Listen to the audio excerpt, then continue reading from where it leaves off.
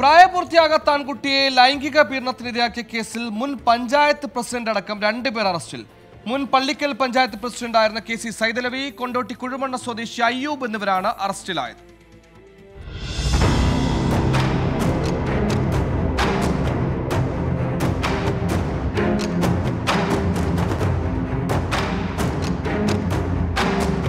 പത്താം ക്ലാസ് വിദ്യാർത്ഥിയെ ലൈംഗിക പീഡനത്തിനിരയാക്കിയെന്നാണ് കേസ്.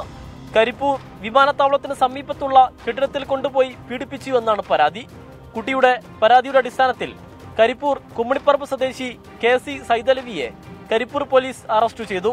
ഇയാളിൽ നിന്ന് ലഭിച്ച വിവരത്തിന്റെ അടിസ്ഥാനത്തിൽ കൊണ്ടോട്ടി കുഴിമണ്ണ സ്വദേശി താമ്രത്തുടി അയ്യൂബിനെയും പോലീസ് അറസ്റ്റ് ചെയ്തു.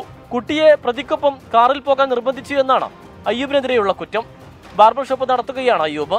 പള്ളിക്കൽ പഞ്ചായത്തിൽ രണ്ടായിരത്തി അഞ്ചിൽ യു ഡി എഫ് ഭരണസമിതിയിൽ പ്രസിഡന്റും രണ്ടായിരത്തി പതിനഞ്ചിൽ ഇടതുമുന്നണിയുടെ സ്വതന്ത്ര മെമ്പറുമായിരുന്നു കെ സി സൈതലവി. കേസിൽ അന്വേഷണം തുടരുന്നതായി പോലീസ് അറിയിച്ചു. ട്വന്റി മലപ്പുറം.